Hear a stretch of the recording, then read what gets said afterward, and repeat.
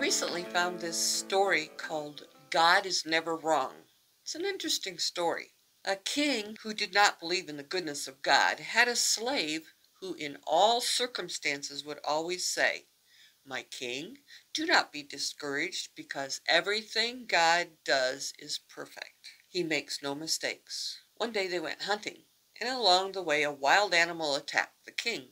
The slave managed to kill the animal but could not prevent his majesty from losing a finger. Furious and without showing his gratitude for being saved, the nobleman asked, Is God good? If he was good, I would not have been attacked and lost my finger.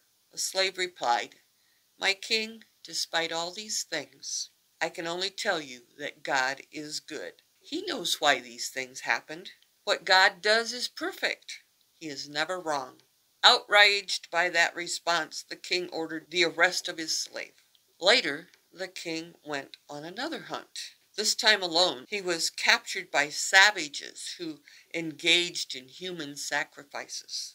And ready to sacrifice the nobleman, the savages discovered that their victim did not have one of its fingers. According to them, only a whole person with all his or her parts intact could be offered to the gods.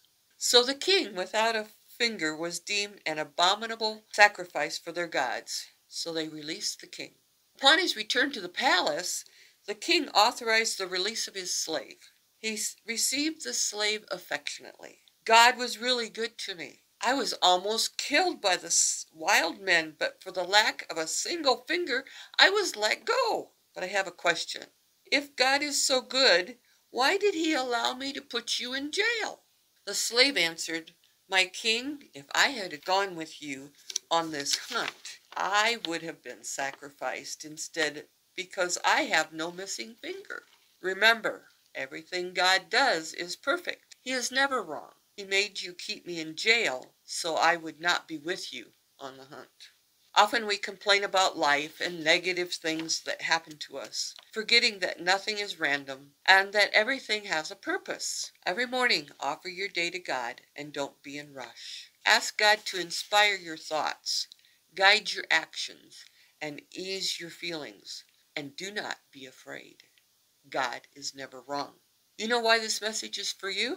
I do not know, but God knows. Because He never makes mistakes. What you do with this message is up to you. May God put it in your heart to desire to send it to someone or share it with someone. God knows why we chose to receive this message. Please bless someone with it. God is never wrong. When you feel like you're drowning in life, don't worry. Your lifeguard walks on water.